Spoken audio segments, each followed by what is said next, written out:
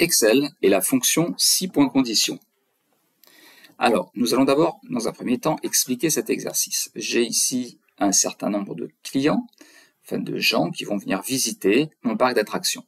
Juste à côté, j'ai un ensemble d'âge de, ces personnes. En fonction de leur âge, eh bien, les gens paieront des sommes différentes. Quelqu'un qui a moins de 6 ans, et une petite faute, paiera 5 euros. De 6 à 17 ans, 9,50 euros, etc., etc., etc. Les tarifs sont donc différenciés en fonction de l'âge de la personne. Ce que nous allons faire, c'est que euh, nous allons essayer de déterminer combien paiera chaque personne. On pourrait même rajouter à la fin quel est le chiffre d'affaires total, le montant total.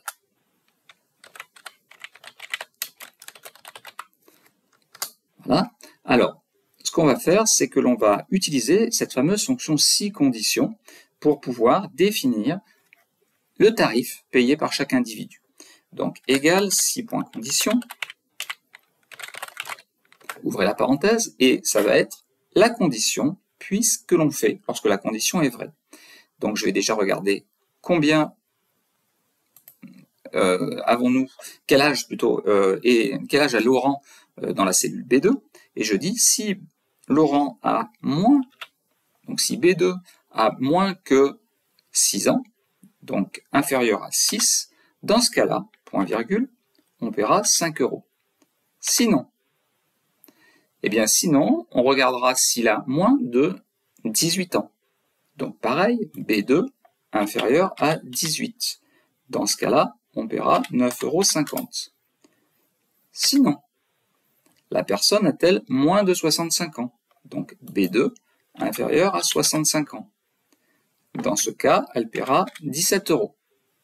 Sinon, la personne a-t-elle plus de 65 ans? Enfin, 65 ans ou plus. Donc du coup, on va mettre B2 est-il supérieur ou égal à 65 Si c'est le cas, 12 euros.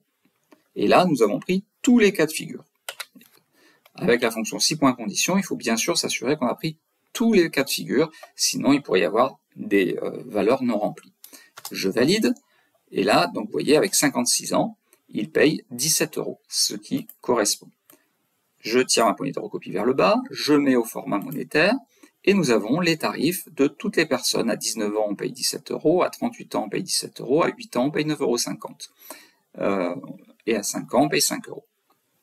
Voilà, donc une utilisation très facile euh, pour pouvoir définir des tarifs différenciés d'une personne à l'autre en fonction de plusieurs conditions. J'espère que cette vidéo vous a plu. Si c'est le cas, n'hésitez pas à la liker et on se retrouve très rapidement pour d'autres vidéos.